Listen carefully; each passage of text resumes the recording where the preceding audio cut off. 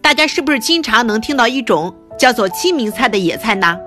能说的就是它，它的学名叫鼠曲草，就是在清明节前后，确实是一种非常好吃的野菜。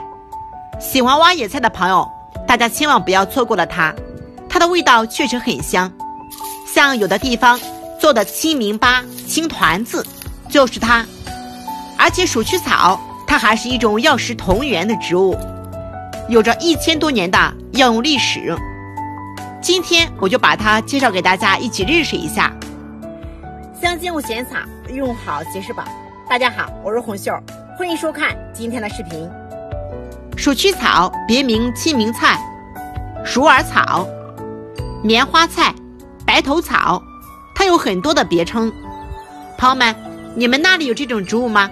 管它叫什么名字呢？它是一种全草可入药的中草药，药用价值非常的高。在春天的时候，更多的人喜欢把它挖来当野菜食用。喜欢挖野菜的朋友，建议大家可以到农村的田埂、荒地、路旁去寻找一下。鼠曲草它会开出黄色的花来，有点像油菜花一样。眼下正值采摘的时节，错过了又要等上一年。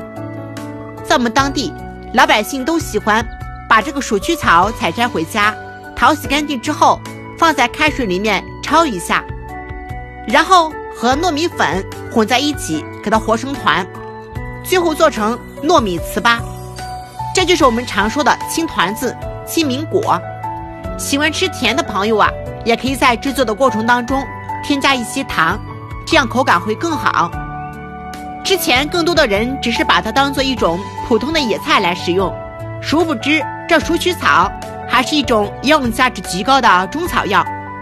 感兴趣的朋友可以去搜索一下鼠曲草的价值与功效，在这里不方便给大家多说。